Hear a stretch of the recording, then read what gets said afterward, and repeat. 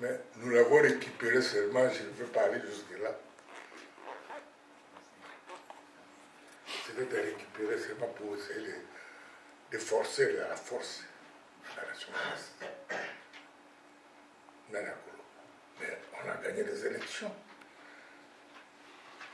Mais parce que Mumba ne pouvait pas ceder la valeur du congo babomi ye vraiment soki nazalaki na congo na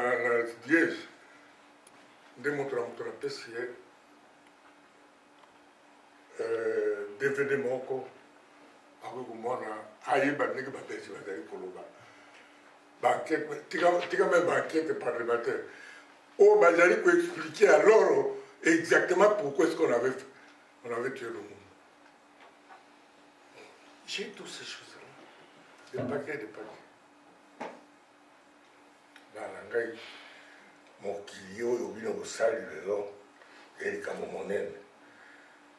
Natiki cote politique sika nalingi kokenda na liloba mosusu. Je suis kimbanguiste moi meme personnellement. Nasepeli koyoka ba declaration basali. Nasepeli koyoka declaration ya pasteur non kimbanguiste. Parce que moi aussi je suis pasteur. Et je suis même représentant légal premier suppléant.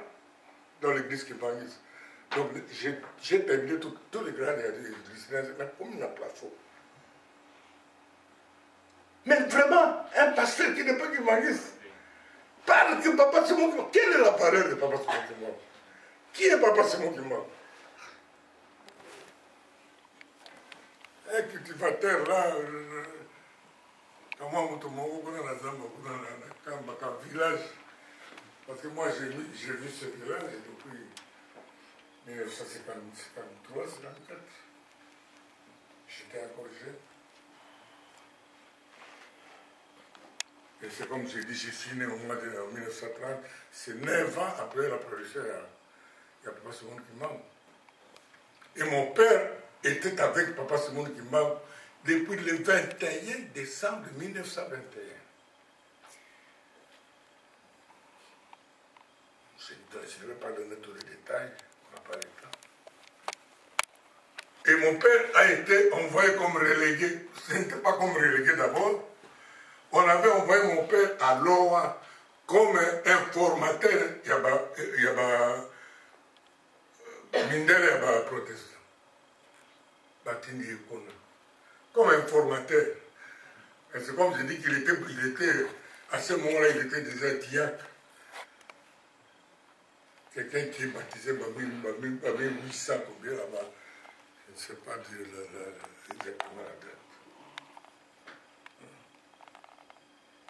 Akei na lowa finalement ba oblige biso kovanda na na relegation. Nyoka nde batindaka ye kuna na mayele parce que bamonaka ye ete tovandi. J'ai vécu mon enfance na delege na lo na kati ya relegation. Ngai namoni papa Simoni Kimbangu na miso na ngai. naye akufi naino te azali na prison na lubumbashi na lubumbashi mais azali koyela tous les vendredi soir oyo akosolola na baninga na bato na ye alors tata na ngai mpe azalaki kuna bazali kobala basali bamiracle ndenge na ndenge oyo nakoki kolobela bino boye te Mais ba mususu basi ayoki buya papa simon kiba moto azali na prison mais azali kolongwa na prison koya visite kotala bato na ye moto moko mosusu nakoloba bino miracle mosusu ya pasi moki mbango na 1941 Eglise protestant esali cosistoire hein ba bengaka bo cosistoire de grande reunion bakamati ba missionnaire nyonso ya Afrique missionnaire ya, ya mindele balobi na Afrique mobimba baye na biemesi ya kusu c'est à 25 km de Kisangani basali eh, réunion na bango wana 27 missionnaires blancs avec des, des, Les pasteurs euh, ya bato mwindu osi bavandi babengi tata na ngai alobi yaka kosalela biso rapport ya sango ekolo qu'est ce que vous avez constaté kuna na lowa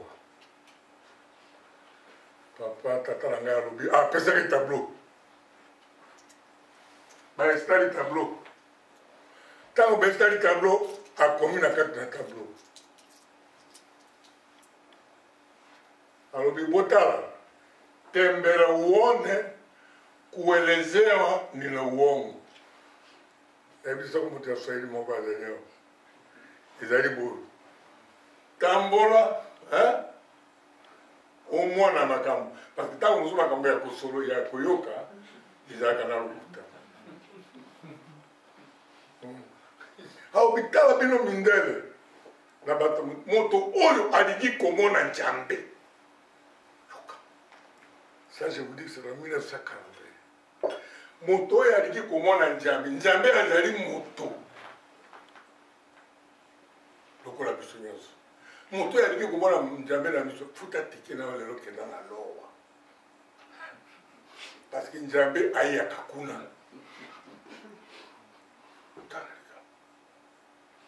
parce que moto azali na prison na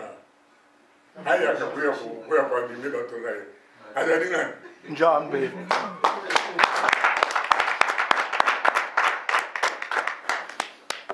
papa molimo santo oye administrateur bakamati bakeko batili basoda na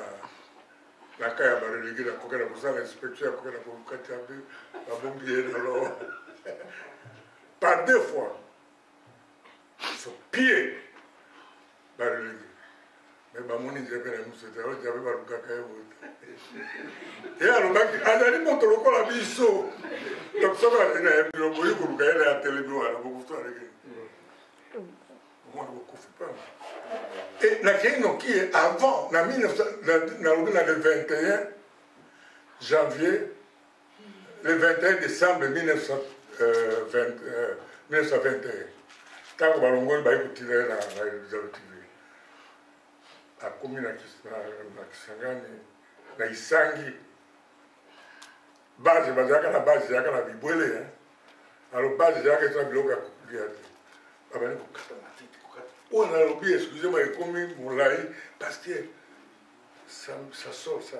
ça me fait plaisir de pouvoir présenter la valeur de Papa Sumbu Puma. Pour la quoi appuyer ma qualité au bureau de la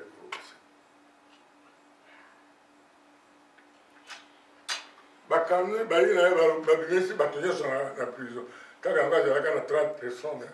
ya relege bakangi ye maboko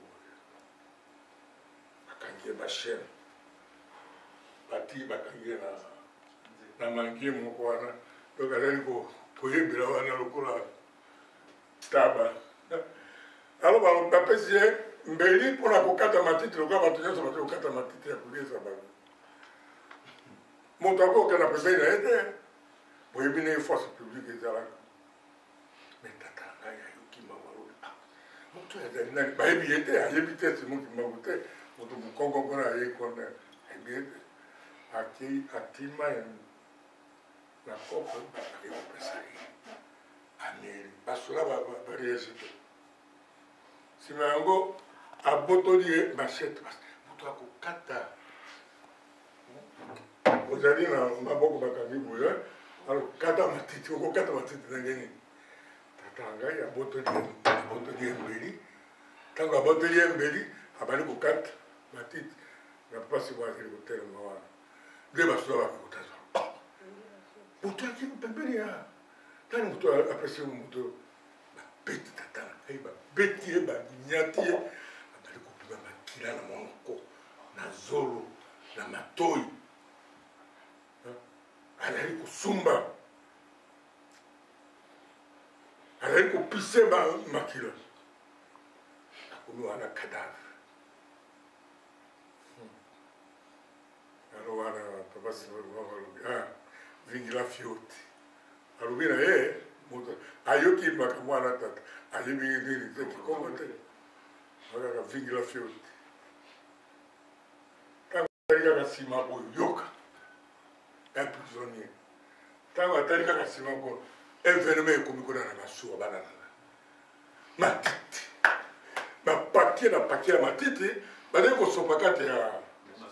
ya masuwa me moto oyo azali kokumba matiti amonaki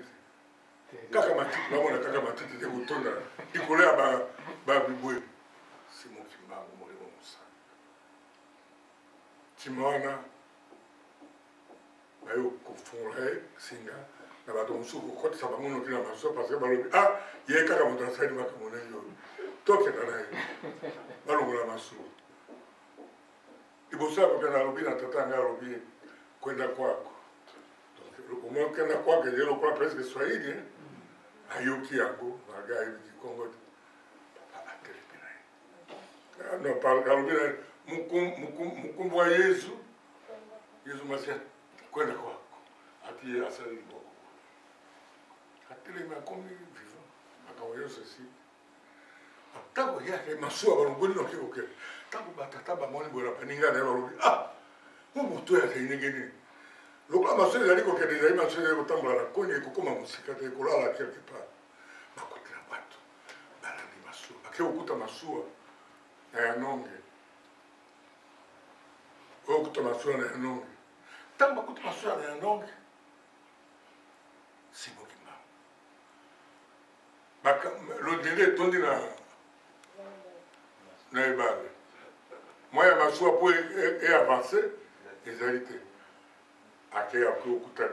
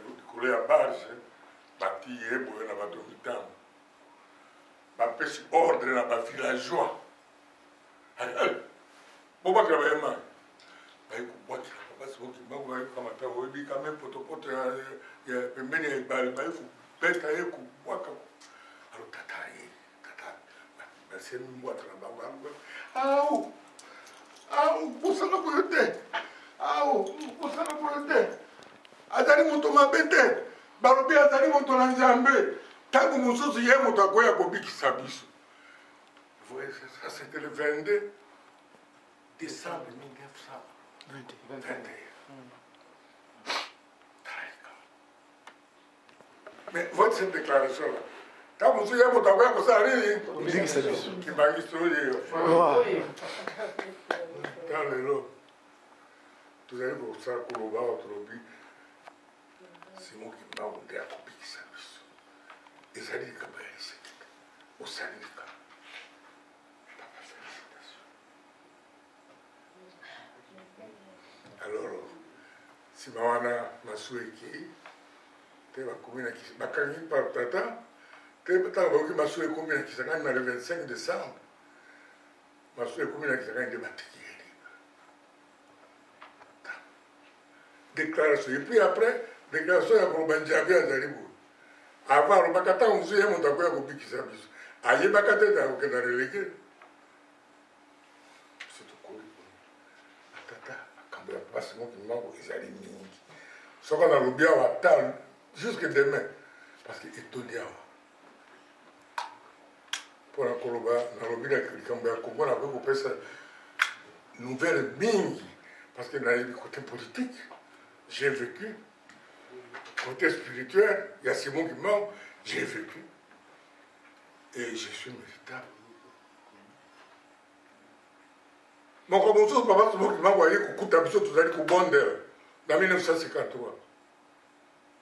biso tokangani na ndako parce que tozalaka na ntango na masozo tozali baprotestant me ntango mosusu nyonso tozali bakimagisi camoufle tozali kobondela na 4 heures tokangi baporte ntango wana bafenetre tout ferme tomona kaka boyo moto moko azali kobanga moto atuni ete on n'a pas fait cas Avandi na biso wana tozali kosolola, abandi kosolola makambo, abandi kosolola, akamati monopole ya ya ya masolo nyonso alobi na oyo ngai nazali kolobala bino ngai président nayoki yango na motu te j'étais présent moi aussi j'étais présent alobi na biso tala tala afrique ekomi vide bato bazali te bato nyonso mindele basiaka basombi bango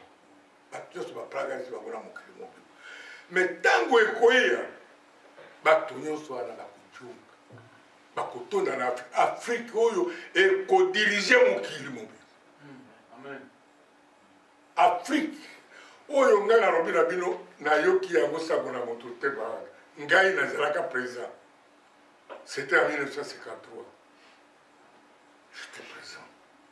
Leke oyo nayoki sango na moto tata na ngai moto te.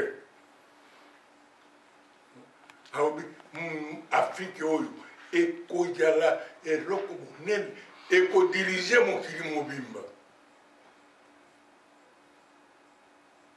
oyo tozali kosala lelo ezali yango te mboka ya bino esika ya nini ekateli ya makambo ya mabe yango oyo eh, toyoki papa polo asaleli eza demonstration hmm. alobino tondimi yango ingeta lelo tolobi boni la victoire est certaine kata kata motu La victoire est certaine. Certainement, certainement, la victoire est certaine. Car la cause est juste.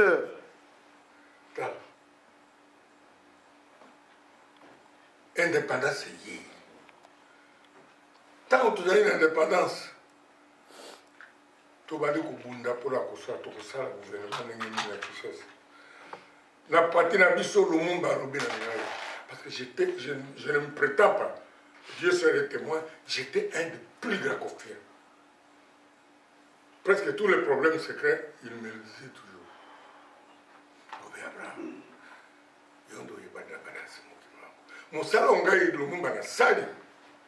ezali ya ngai te ezali mosala ya se moto ndako moto asalaka yango alors mpo na nini moto mosusu azali na bana minene mpo na nini mwana na ye moko akokoza parce que mpo na patrice na biso na mnc c'est papa qui sont qui ne fait pas se changer ça je voulais dire c'est papa qui sont qui devait passer chef de l'état eloko ye kaka parce que papa kisolokel na papa diangenda bamonaka danger ya jeunesse ya bako parce que soko batiaka kaka moto mosusu nde omonaka etumba ezalaka nde babebesaka lokola toyoki ya baintervention yabo kaka bato oyo batiyaka desordre bato oyo bamonaka bayebi ete azali na possibilité te ale kenda kobunda kenda kosala boye parce que ayebi ete azali akokoma te abakwajaka alingaka kosala babosanaka meme ete meme arrestation ya, ya banani lumumba akendaka koplaide avant bametre croke baya C'est nous Mumba qui avait prêté vraiment pour Kasavubu. Pour bato nyonso bakangaka bango. Ntango Lumumba alongwi na Accra, na premier voyage na ye wana, ayei celui de la 58, celui qui avait plaidé, il avait vraiment plaidé. tala bato nyonso oyo bazalaki kosala kenda kote kasai basali politique ya koluka na ngalula lumumba atendi ye na, na, na, na conakry epai ya sekou toure parce que sekou toure alingaka absolument atindela ye kamwa mbongo mpo asala na campagne biso toyaka na mbongo te oyebi mbongo ya mnc oyo bomoni kolonga ya mnc toute la population de kisangani averse l'argent chacun devait acheter sa carte soki mobange moko mwana mobange ayi kuna azali lisusu na makasi te ayi kuna na 20 franc mpona akopesa boyota salamu palumo donc il donne son argent avec sa invitation soki olobi te okovote okokati okamata carte pamba ngai carte pamba il faut lungumba azwa 20 franc na ngai baze kosomba karte lokola match ya football otenge tomona na kisangani yango wana mbongo ezalaka tokoki kosala naisotu naza kokenda na na petit porter naza kokenda na province nyonso wasevoise mpona kokenda kopesa mani ta alongi mpona mosala ya solo Na verite eloko eza ke epai ya Lumumba soki olingi kozala na Lumumba na likambo te loba likambo kosalisa kenda kobeta moto okomi enemi na ye jamais kobeta moto te moto nani ayoki sango ete par exemple esika moko na Kisangani avant l'indépendance ntango propagande ezali babomaka bato obela babelge nde babomaka bato na Kisangani pona kolinga kokanga lumumba nini na kaka mati ya pareil ya enregistre alati ba reunion nyonso bazali kosala azali koenregistre makambo nyonso ya secret oyo bazali koloba kona ayoka na kopesa babelge yango wana bakangaka lumumba na kisangani et puis après ça ba créer balingi bakanga ya peuple balobi kokanga nani bakangi ya bakamati ya juda moko balobi bo soko bino bobomi lumumba biso tokoli yo ajur mais bamoni boyo batiki nene de après basali quand même ndenge nyonso mpo ya koarete ye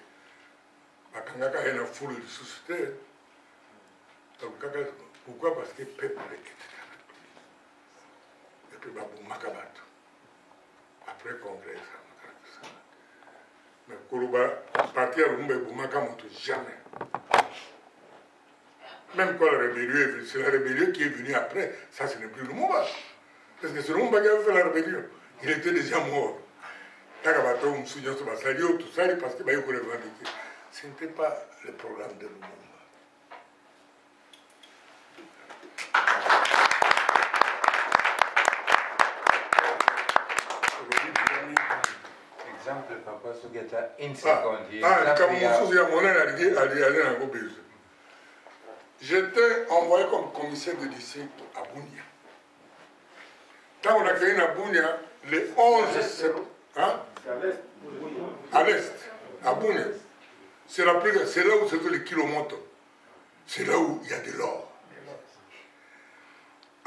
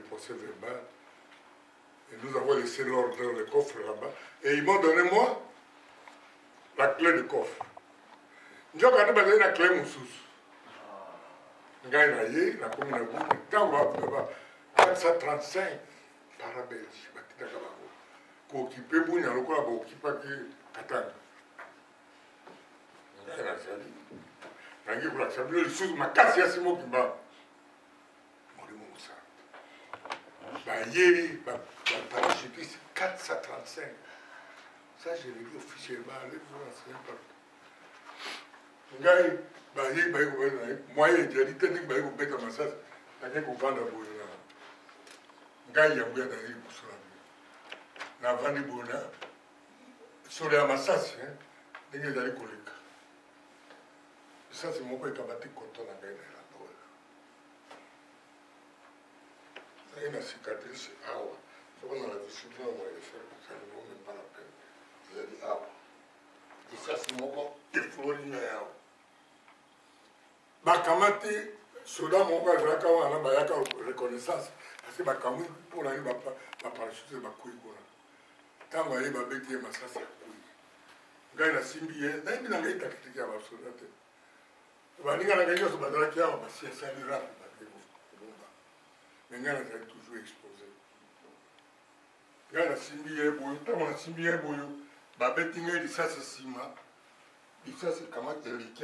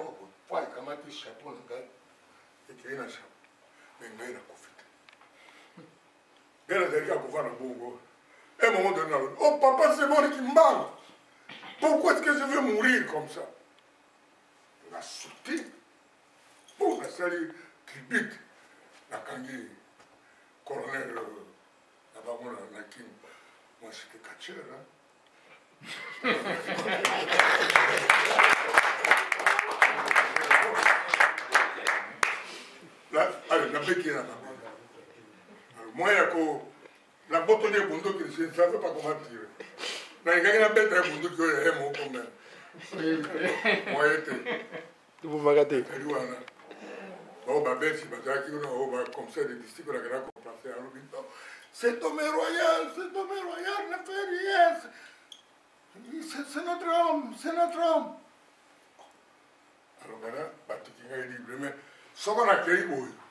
kuna basoda bazali eh, ya ba belge babangi baye kotutana bamoni ngai soko nazalaki ndenge nini nayebi te baye kotuta eskaka soko nakei kaka boye o oh, batutani nalobi na commandant wana badepose j'ai désarmé 37 tala ndeti tout seul ngai kaka lokola omoni ngai commissaire de district alors nsima wana nde trois jours après naye kobeta tennis ntango nazali kobeta tennis namonikaka moto moko na parce conseil de district Na tanga ko bale ko evacuer ba ba ingenieurs mingi mingi na avion avion ezali ba longoli ba ba sièges nionso basi na bana bazo ko ko kotisa bango na avion po ba kimisa bango ba zonga Belgique ba zonga Belgique bazo ko kamata bango ba tiki bango na avion moke na Bujumbura de Bujumbura ba kamati avion mais bakamati or tomoni or oyo ezalaki kuna na bunia baye kokotisa na avion mais quoi Polo nga na siye procès verbal natikali kona po kona ye na sécurité koleka kokende yango na ndako kamati voiture na chauffeur toye tennis nakomi kuna na mati likolo ya avion de c3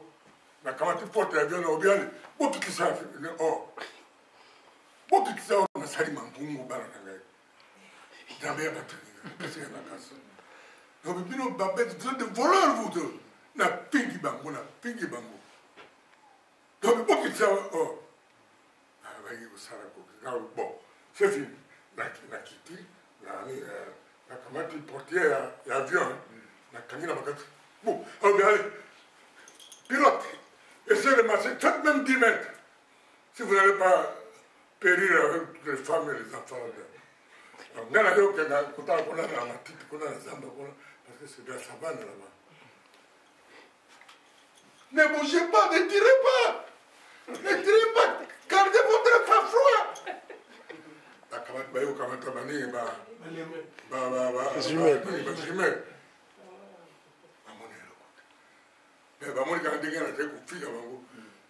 un jeune soldat asiliki acharge bunduki mpo abeta ngai bamosusu bakweli ye lwalo te mpo na lingi oboma ye entre temps président ya gouvernement tata ya fina hmm. akiti jean-pierre fina avion na baavion ekiti bango na kisangani koya kotala situation ya ya boye ye azalaki président de gouvernement Ba moninga ba lobi non ya mbongo. Ko sala bongo te ba ko boma biso ba bandi ko lela. Ba ko boma biso. Ba boma biso. Mbongo ya Congo ne biloko ya Congolais. Ne biloko ya Congolais. C'est parce que Lumumba avait dit que tout ce qui est dans ce pays appartient à tous les Congolais. Pas de voleurs.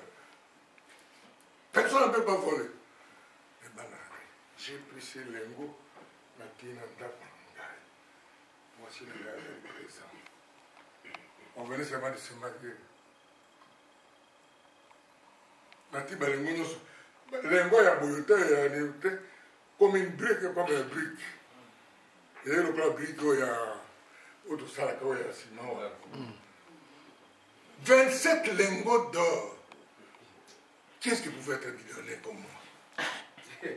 Parole. Il y avait quatre bouteilles de whisky et John Walker aussi. mpona bazali kosala na zamba baingénieur soko basili baye kotika bakimi bakei na banke batiki coffre trésor ouvert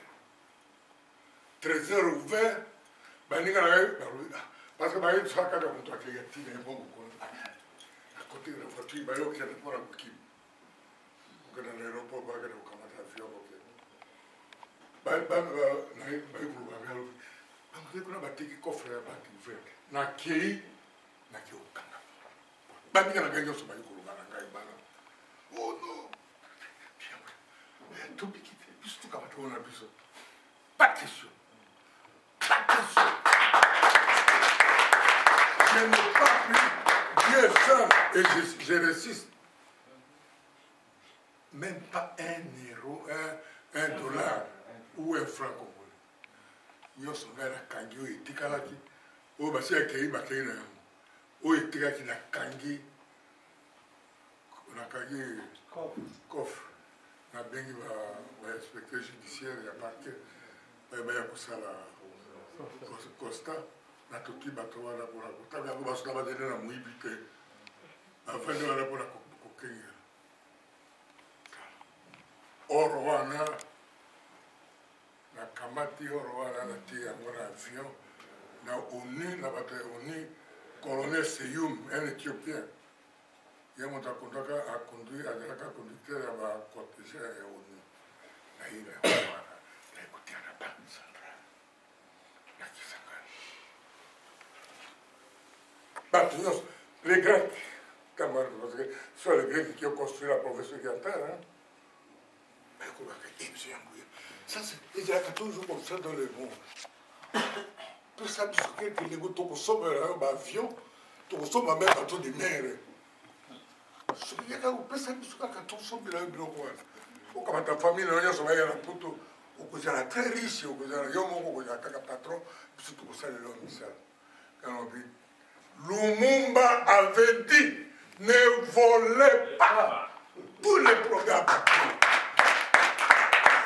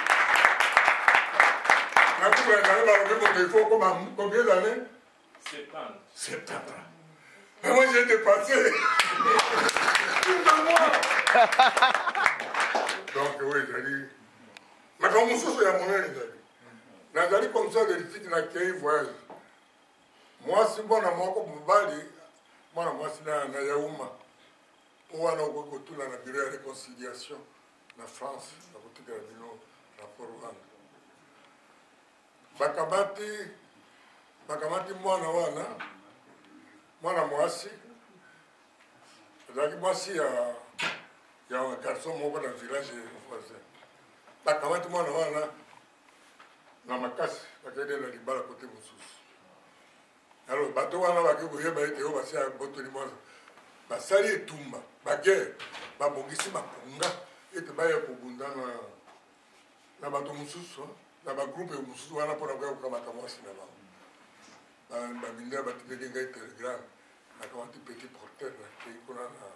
elisabeta nakei nakamati camionete nakei kuna na zamba kote oyo basi babongisi ete bakobunda baoyo bazali kokenda na makonga mpo bakenda kobunda na bamosusu baoyo baavanse moke oyo bazali koavanse moke babongisi eza plaine esika bakoya kokutana ngai na bongo balobi te conseil de district kokenda kuna te okokufa lobi tika ngai na kuna nakomi je n'avais rien pas un militaire pas ngai moko navandi katikati ya kaa mibale naobi loba ntina oyo bokobomana eske yesu alobaki lisusu makila na bato mosusu ekoka kobima mpo na makambo ya mwana mwasi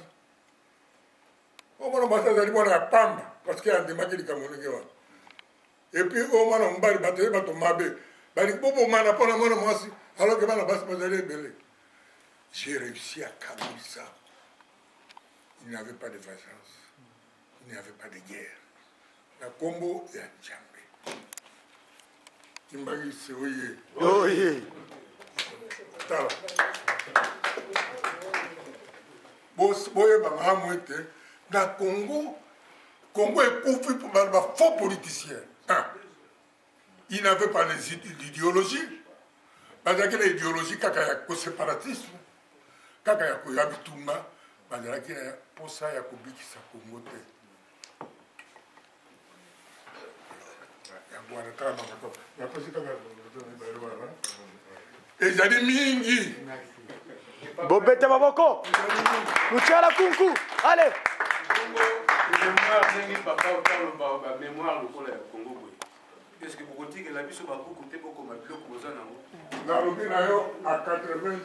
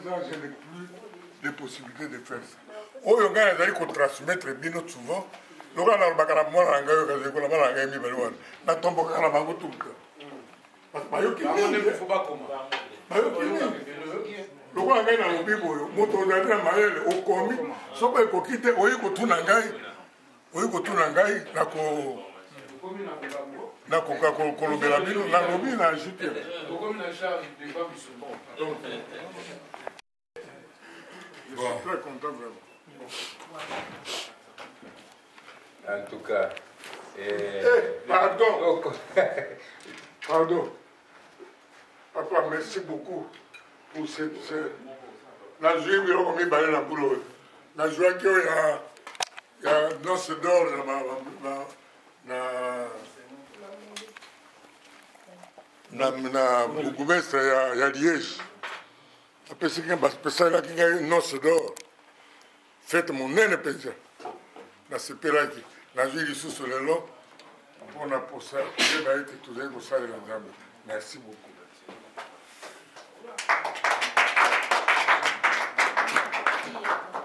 na nkombo ya bandeko nyonso oyo bazawa ngai Papa euh oko remercier ngai te na kombo ya ba ndeko nioso bo permettre ngai biso mutu to remercier yo hein na courage wana heroïque parce il ya pas beaucoup de congolais oyo basali makambo ya bongo na mboka Et puis papa aza na biso physiquement en tout cas eza important to remercier ye et puis pe biso pe tolanda exemple wana parce que eloko moko euh, oyo biso tobosanaka ndenge papa alobi tala bandeko mosusu bato mosusu na ntango wana batiombe wapi batiombe aza wapi sikoyo na bakatanga mwa quelque jour au renie ezala bapapa mobutu azovandi baswa 32 ans na pouvoir esuki ndenge nini il faut tocomprendre mpo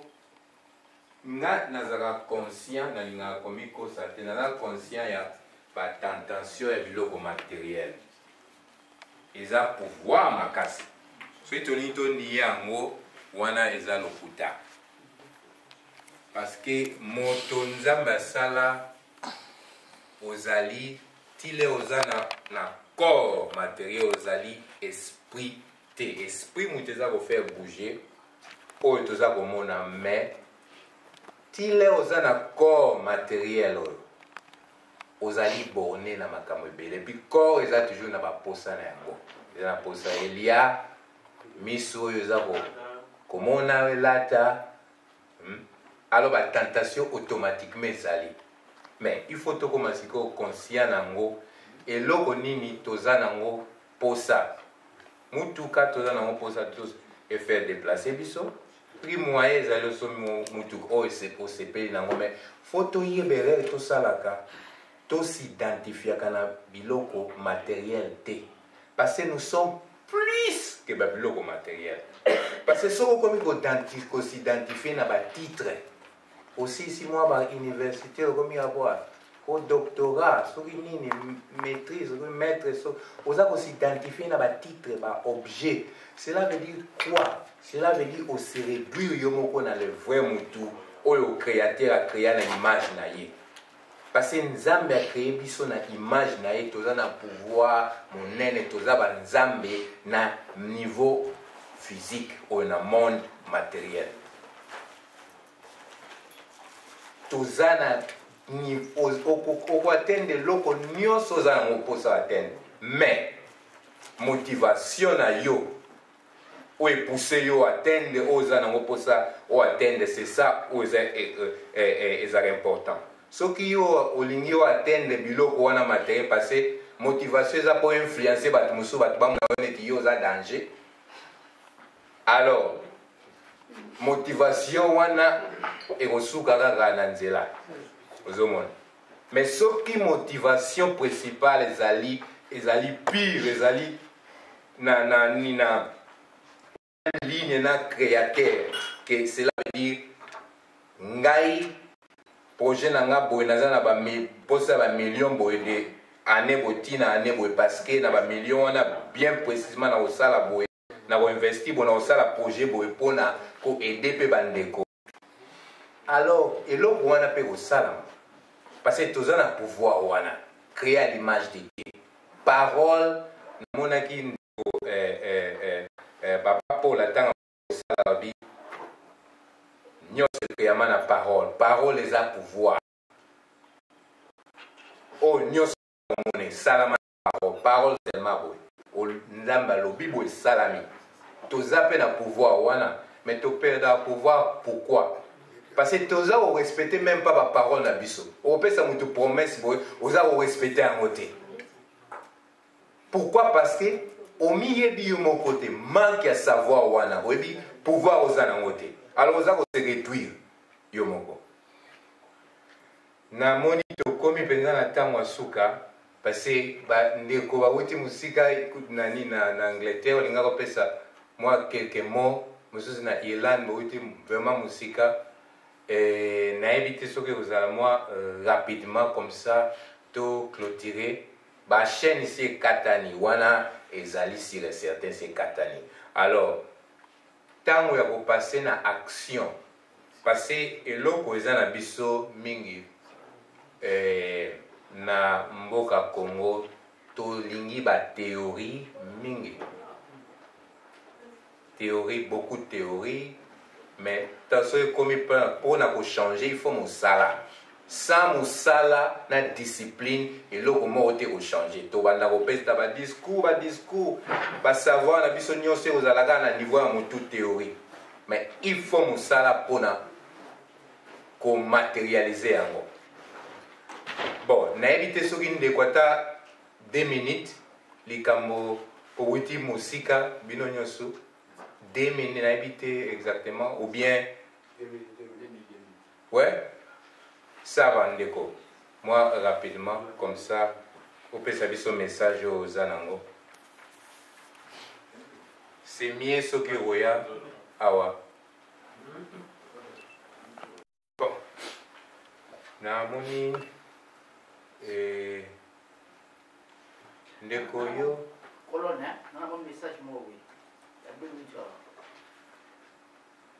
Ok.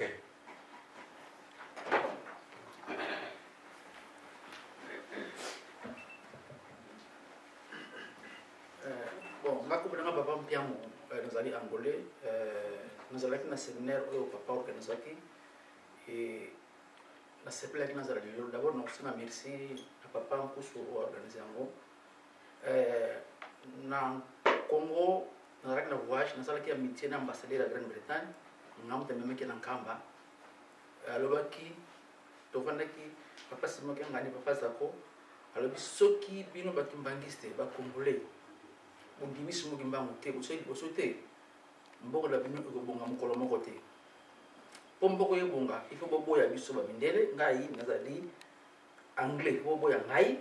bo linga kimbangu po bo bongo na mbaka oyo. Trois ans passés la suna Congo na zalaki temps ko solola na Manda Sembe. Ko solola ki panda 1h45 minutes. Ya tinga mona na ngai. Mukolo oko mona na mboka na bino ba sali réunion contre ko France ya Berlin. Bo yeba ke bo bandi ko longola ba singa ko ba kanga bino. nakendaka baafrike oyo aleka na ndenge na nsima nakendaka afrike chef nakendaka retard na aéroport mais lelo nalamukaki 5 heure 30 mpo nakoma na 8 heure euh, na gare ya colone mais nakomi 7 heure 30 nazwa train na ngai na 8 heure 48 mais na butu namonaki ndoto lokola vision tozalaki na peti na cameraman na ngai tokomi na piscine moko tomoni mindele bazosukola bazosukola bazosukola bazosukola ngai mpe nalaki nasukola na mai wana me baboyaki heure moko ntango badeplace ngai ye mpo nasukola me nazobanga mai yango fo kutana eskali mo mosuki na se nazobanga mai yango laki telema bogindo mingi ntango nakoti na mai soko nadindi soki nalinga soko nabima boye me naso kodinda kaka naso kodinda kaka Na sentir libanga ke na dindi, na ko benga Simon Kimbangu, papa Simon Kimbangu, papa Simon Kimbangu. Après na ko bima na ngambu mususu. Tana bima na ngambu mususu, na moni peti na ngambu. Ai oh, Fibisha, mais komi mystique hein, okomi kuna ndenge nini? Ngai peti na kaka miracle. Na bandi ko ya, tanga ye, tusuna peti na ngai wana, tumoni kende. Na moni oyo akindoto na ngai lelo. namoni eh, banoire moko bafandi batanga bango basinga bakoka kokende te ngai oh, botelema botelema bobanga te botelema toke botelema eloko ozali te batelami ntango batelami apres tobana okende so ntango reveille eh, eh, toke nalamuki boye mbala moko nanosukula ntango nazongi boye ndabani koyemba kaka telama telama ngai ye ngombe telama telama Sila oyemba mwana nga ya moke ya mwasi ya witari papa azo derange nga bon mais nayebi te nga mpe na derange nzembo oyo neti balobaka nayeba nzembo oyo totelema totelema mbala moko nake na suite de feuille na biki natie mpo nabaki to susu nzembo yango ya nakoma nakomi euh, na train navandi ye amataki na nova à 300 km na ngai mpo leki navandi na mosika na ngai nabandi kokoma mais eza na kikongo soki nalinga ntango moko awa ekozwa temps makambo tu oyo eh, tolobi awa nakomaki yango deja na train ke nzembo kino eh, nayambaki bango ngai nayambaki bango lokola bapaya bandeko na ngai napesi bango biloko kolia napesi bango mabele na ngai batondi bamoni ngai zoba bateki ngai natonga mboka na bango banyokoli ngai lelo natelami mpo nabotola mboka na ngai nabotola biloko na ngai ngai moko nelige richesse na ngai nkombo na yo ezali antoine te ezali michael te nkombo na ezali ya mboka oyo ozonga na kikoko na yo na kibomboka na yo linga oyeba culture na yo mpe nzambe na yo mpo okolongo na mpasi oyo nzambe nakomaki yango wana ezali wana mai ngai na producteur na producteur loka biso likolo mosala ekufi biso fo toluka tosoutenir bacombattant naza producteur mai naza contre bacombattant te naza pour bango po fo totika miziki totika skol tosala po tobuta biso po tobotola mondele mboka na biso nakanisi na suki wana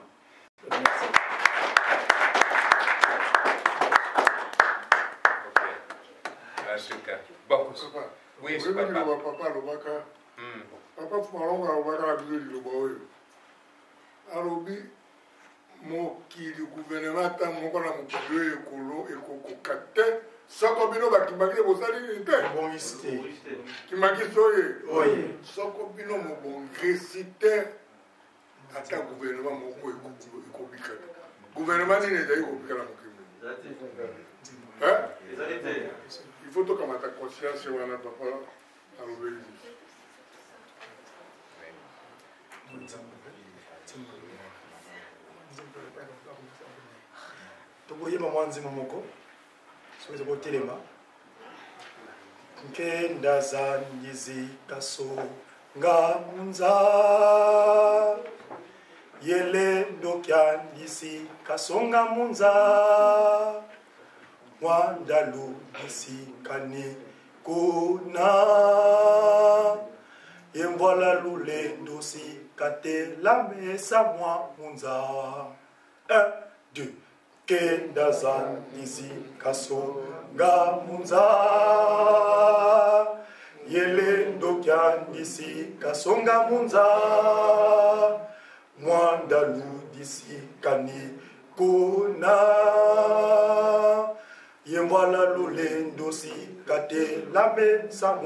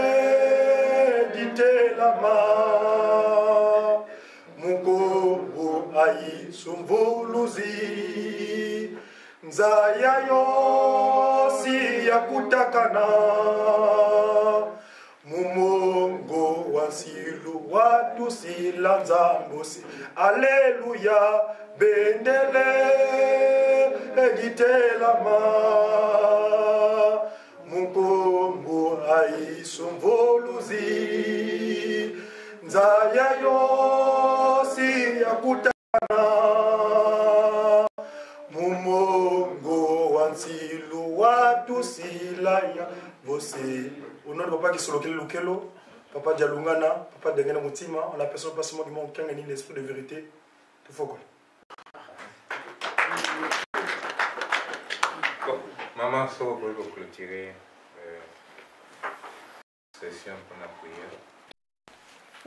Na nkombo ya Tata, ya Mwana mpe ya Molimo Mosantu.